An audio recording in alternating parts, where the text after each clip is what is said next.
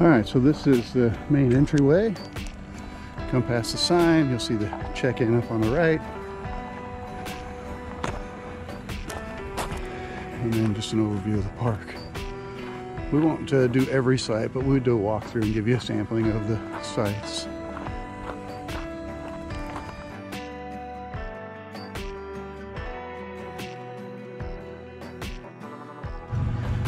All right, so we just walked down the main entryway after the office and you come to this main intersection here.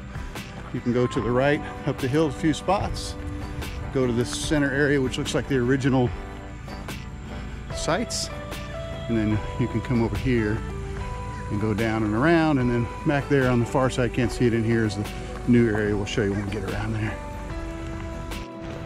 So these are um, the late 50s, early 60s sites, 59, 58, 59, 60, 61. And you can see, I think these were the original sites with the concrete pads, probably the original KOA campground.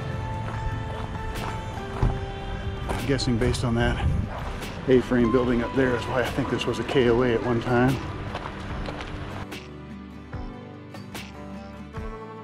So we have another uh, sort of branch here by the pond and I guess this would be the northern, far northern section.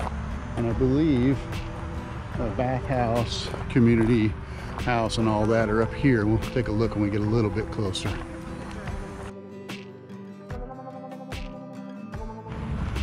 All right, so we're walking through what I'm referring to as the northern um, section.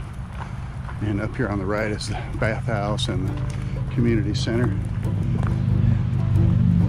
These are uh, also concrete pads, so probably original or maybe a few add-ons from the KOA. So here's the bathhouse. The reviews all say it's maintained really well. I'm not going to walk to the bathroom with the camera though.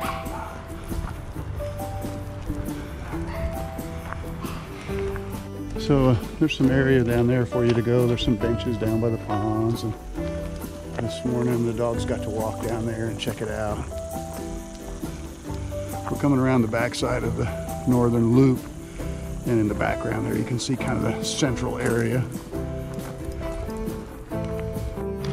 All right, so now we're looking across the pond at what is probably the main or the original main area and kind of off to the right there. It's just you can barely make out some of the new spots.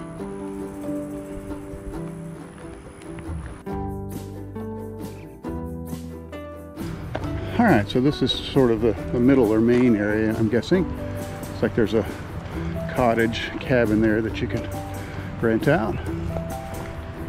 And then we're gonna look back across to the northern sort of loop that we just walked through. And then that's Highway 231 there in the background.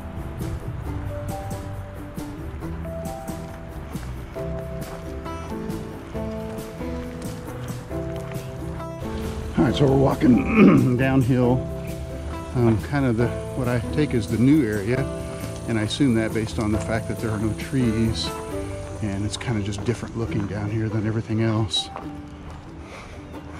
We took the site on the far right up here. Wanted to have a good view for the Starlink. Working pretty good here.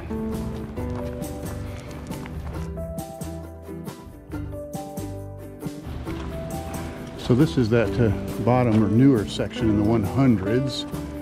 And uh, not just here, but kind of all throughout. Uh, I'd say the majority of the people are long-termers, you know, at least uh, snowbirders perhaps, or something along those lines. But it doesn't look like too many weekenders here, just based on the how the campsites look with all the stuff.